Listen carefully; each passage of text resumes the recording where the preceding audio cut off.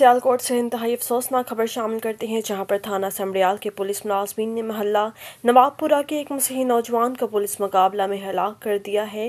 तफसीत के मुताबिक चार रोज़ कबल जुमा के रोज़ राजा मसीह के लवाकिन ने हाईकोर्ट में एक रेट पटिशन दायर की, जिसमें कहा गया कि हमारे बच्चे को पुलिस ने बीस रोज़ से अगवा करके नामालूम जगह पर रखा है और बगैर किसी मुकदमा के इंदराज के इस पर तशद किया जा रहा है। हाईकोर्ट ने इस सिलसिला में एक वैलिफ मुकर किया और थाना समड़ियाल के पुलिस मुलाजमीन से राजा मसीह को बाजियाब करवा लिया गया और जुमा के रोज राजा मसीह को हाई कोर्ट में पेश किया गया और उसकी बेल करवा ली गई। कंफर्म बेल के लिए गुजशत रोज, यानी सोमवार के रोज हाई कोर्ट में राजा मसीह को पेश किया गया तो उन्होंने जमानत कन्फर्म कर दी।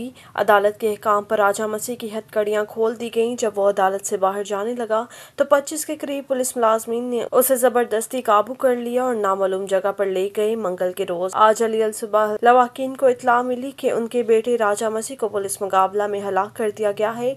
इस सिलसिला में तहसील हेडक्वार्टर अस्पताल समड़ियाल में राजा मसीह का पोस्टमार्टम किया गया, जबकि लवाहकीन ने पोस्टमार्टम रिपोर्ट मिलने के बाद लवाहकीन ने डेड बॉडी के हसूल का मुतालबा किया। तो लवाहकीन को धमकी दी गई कि उन्हें डेड बॉडी नहीं दी जाएगी, बल्कि पुलिस खुद इसकी तदफीन करेगी। लवाहकीन ने एहतजाज करते हुए कहा कि मसीही कीदे के मुताबिक हमारे बेटे की आखिरी रसूमात होना ज़रूरी है, जो हम खुद करेंगे, मगर उन्हें डेड बॉडी नहीं दी जा रही। लवाहकीन ने आला हकाम से मुतालबा किया है कि इस तरह के जबर और जुल्म से अकलीतों के हकूक़ को पामाल किया जा रहा है। हमें इंसाफ दिया जाए।